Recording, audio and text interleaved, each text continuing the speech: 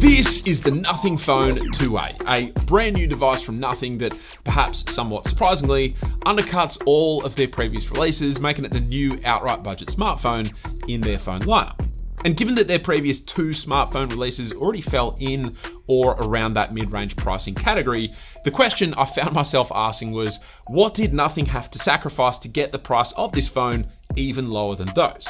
And I've got to say, after using this phone as my main everyday device for about a month, I feel like I have a really good grasp on exactly that. And some of the compromises they made make a heap of sense and will leave you tipping your hat to the company. But there are some compromises that might actually make you think twice before picking one up yourself. And so, with that being said, let's dive in. Okay, let's start with the great parts about this phone. The first of which, without a question, has to be the design. Now, admittedly, this phone does use a heck of a lot more plastic than the two previous phones from Nothing. In fact, the entire back panel and the side rails are completely made out of plastic. But to be honest, the only really noticeable difference in the hand, if you're comparing this phone with Nothing's previous offerings, are those side rails. On the Phone 1 and Phone 2, the side rails have that sort of cool to the touch metal feeling, whereas you can definitely feel that they are plastic on the Phone 2A. But in terms of the back panel, honestly, it feels very, very similar to the back panels on both the Phone 1 and Phone 2. I always felt like they were a bit plasticky feeling with those phones anyway, so to me, it hardly feels any different here with the 2A. And so, aside from the plastic, I actually think that the design of this phone is the best of the entire lineup. We still have those slightly rounded edges on the back, similar to those found on the Phone 2, which makes the phone just that little bit more comfortable in the hand compared to the Phone 1. But then if you get the white or milk variants in particular, then you actually get these really cool color contrast volume and power buttons, which I think look super slick. And then on top of that, I actually just prefer the look of the Phone 2A compared to the first two. Now, that's not to say that I didn't rate the designs of the first two phones, in fact, quite the opposite, but if we're being honest, one could definitely argue that despite the transparent design language, they both still somehow had a bit of an iPhoney look about them. Well, thanks to that new center camera module, the Phone 2A now definitely stands on its own two feet in the design department. Oh, and those center aligned cameras also help in reducing side to side wobbles when the phone is lying flat, which I personally really appreciate. Now, on the front of the phone, we actually now technically have the thinnest bezels of any Nothing phone to date, and they're still symmetrical, which is amazing, particularly on a phone of this price. But I will say, the plastic frame is ever so slightly thicker than the metal frame on the Phone 2, so technically the bezels are pretty much the same size. Oh, and by the way, you may have noticed that I haven't mentioned anything regarding the glyphs. And yeah, that's intentional because I literally do not use them at all. And in fact, I spoke at length about them in my review of the Nothing Phone 2. So if you want some more detailed thoughts on the matter, then I'll just link that video up in the cards.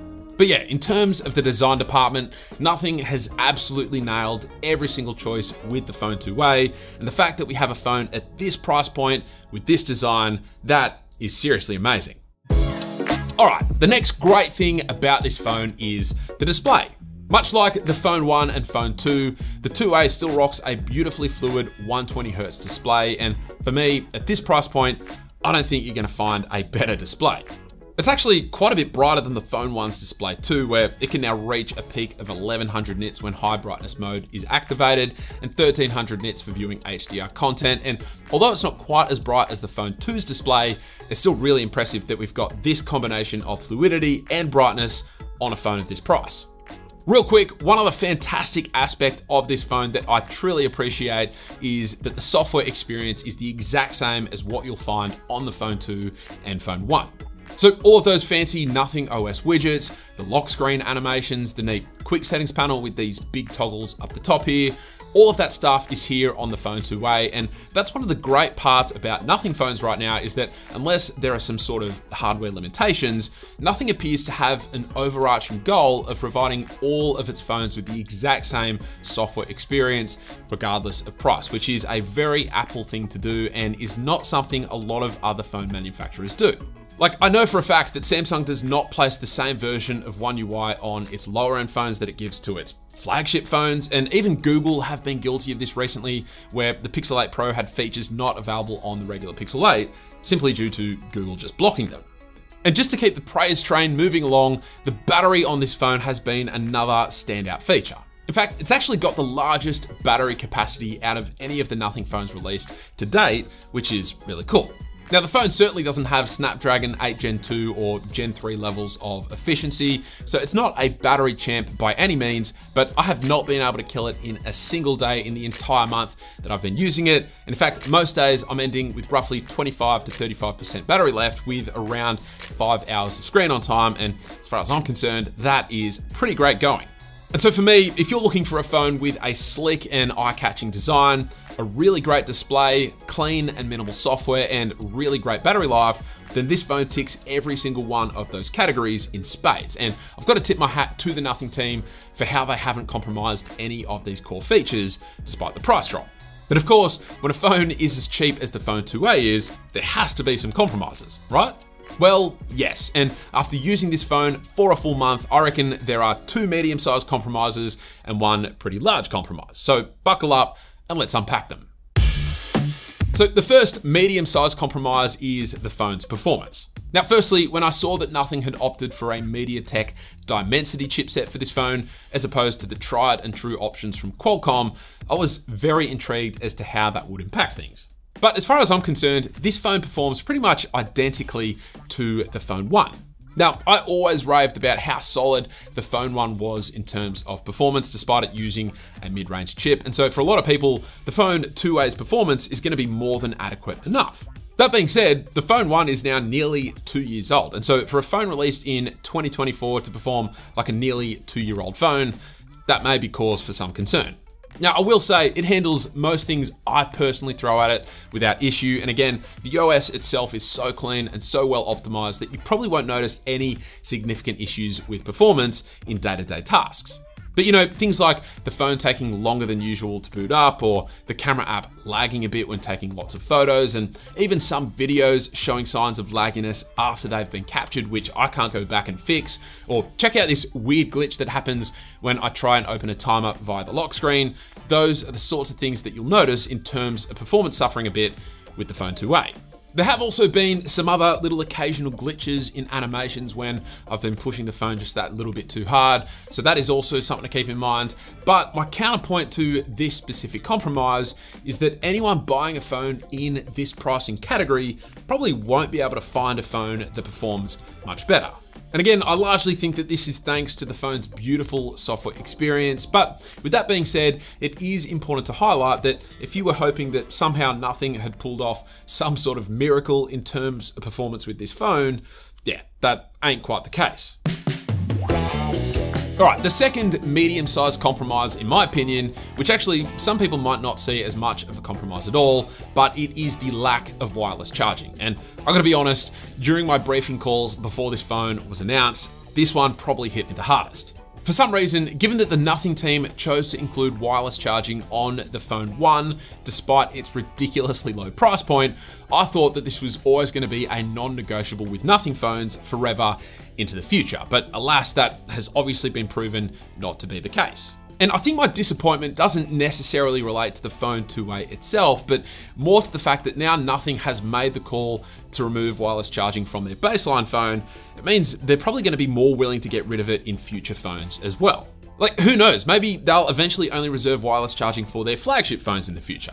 Now, obviously don't know if this is going to be the case at all, but as far as I'm concerned, I actually really hope that this is the first and last Nothing phone without wireless charging. Okay, and so then we come to the last pretty large compromise that this phone makes, which is, as you might have guessed, the cameras. Now, again, for $350, can I really complain about the cameras not being that great? No, not really. But I think the point needs to be made that if you're the sort of person who loves having at least one great camera on your phone, then I don't think that this is the phone for you.